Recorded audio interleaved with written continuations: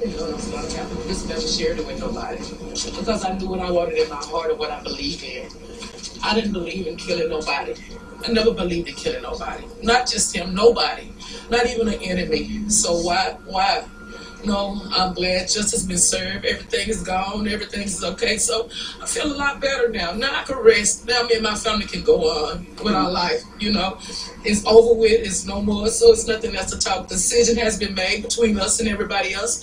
So we feel a lot better. It hurts me. It hurts me so bad. By killing Johnathan, it's not gonna bring Rannita back. No whatsoever. So decision has been made, and that's what it is. We, uh, we have been talking about it about months. We have been talking about months. He had asked me my decision, and he gave me his decision. So at the end of the day, the decision that was made was my decision.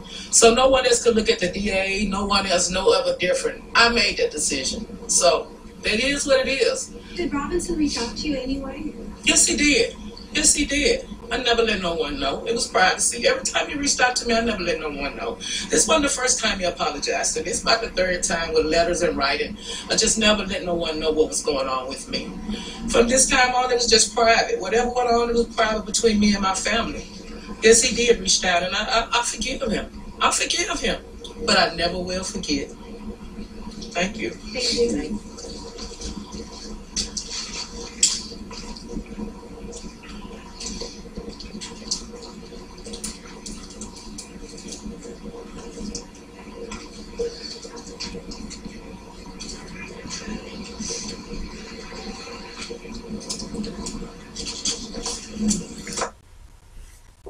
Yeah, looking back on this case, um,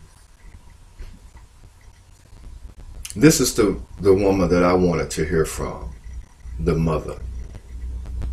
Uh, first of all, my heart goes out to your to you for your loss of your daughter. First and foremost, uh, that first video I made about your daughter, it was wrong. So I will admit that.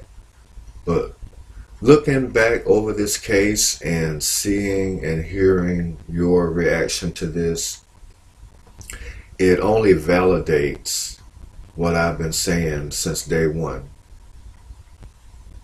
of ever covering this case. You know, I didn't think he should be, uh, I didn't think he should get the death penalty for that. I really did not. Um, that was just my personal opinion. Uh, I am really glad that you kept a lot of what was going on behind the scenes where it should have been kept behind the scenes. Because believe me, had you leaked out letter one, letter two, phone call number one, phone call number two, the only thing that was going to happen was you were going to have all these people on YouTube, which Google owns, and everyone was going, Google was getting ready to start cutting more checks to these people, complete strangers, random people. That, to be honest with you, I'm going to have to keep it real, but I don't want this, I don't want to uh, have to have this video having have an adult rating on it, so I'm going to keep it to a certain level. Uh, but that's all they were after.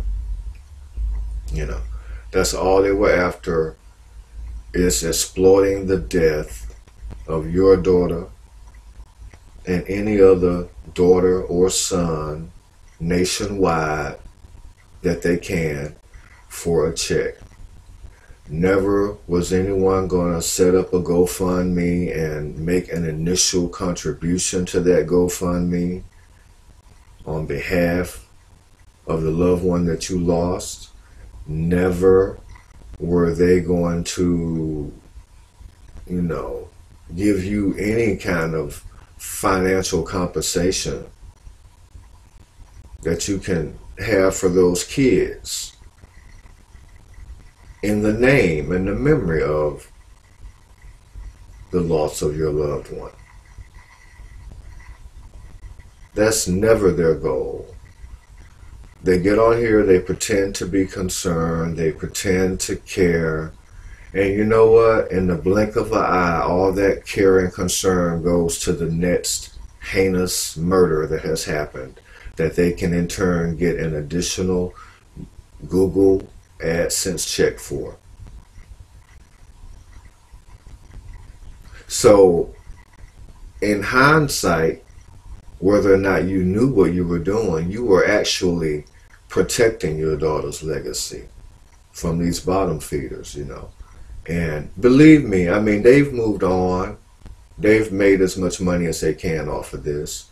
Um, they will continue to make money for the next 20 years off of Kenneka Jenkins and any other high profile black murder that they can.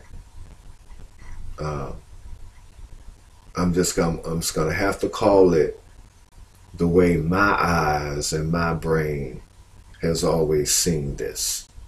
I haven't been on this channel in months, in months, but it's time to go ahead and respark back, respark this back up. Um, but I I think you made a good decision, and you made the decision that was best for you.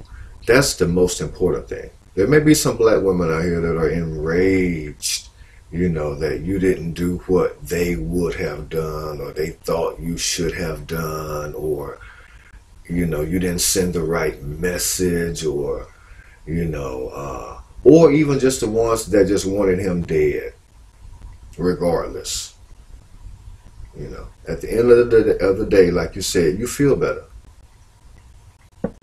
You know, time for your family to move on now. You have closure, it's time to go ahead and heal.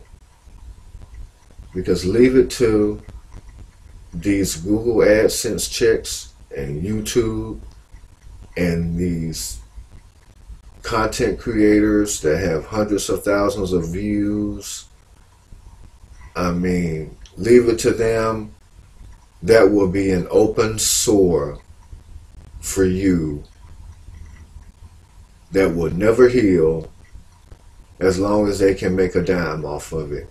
And believe me, none of Rannita Williams' kids will see a dime of any money that all these people have made off of, off of uh, the death of Rannita Williams. None of those kids will see a dime. None of them will. Not of the money that these black content creators have um, have made and continue to make off of the death of every black female and male nationwide. That's what they do. They scour the internet looking for this stuff to make money off of it. And they don't donate a dime to the family, to the memory, to charity in the name of nothing.